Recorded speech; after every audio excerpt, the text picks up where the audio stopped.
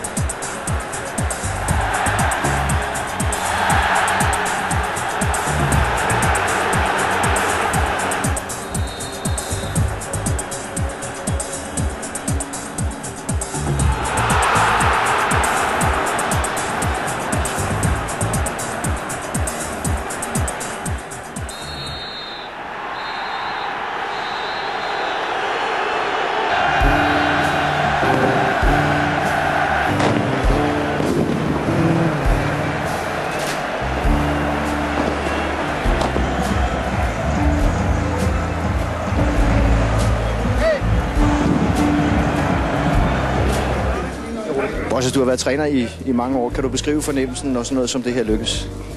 Mm, ja, det kan jeg vel. Det er jo som når man vinner eh, ligan med, med Silkeborg eksempelvis, eller när man vinner någonting. Men eh, selvfølgelig det her er på en, et højere plan, altså lidt højere niveau. Men eh, følelsen er de samme faktisk. Så det, Hvor meget ældre blev du af at sidde ude på bænken der det sidste kvarter? jeg tror jeg blev yngre.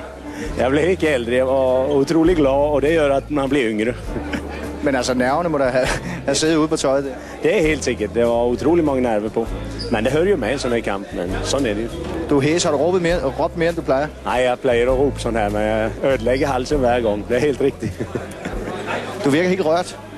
Ja, men altså ikke rørt på den måten. Meget, meget tilfreds at øh, det var vi som havde lidt held med os, og at vi fortsat kan bruge verdens bedste målmand, det synes jeg betyder utrolig meget.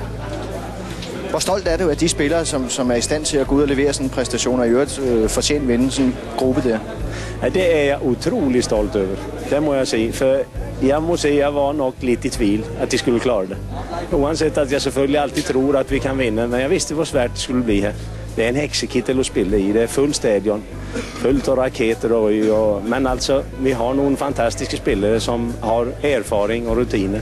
Och det, det är jag stolt över och otroligt glad att Danmark har den typen av spelare.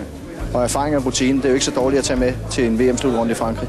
Nej, visst. Vi har ju också flera spelare heldigvis. Och någon fler som kan kreera någon, någon andra ting också. Tillykke, det var fortjent. Tack. Asger.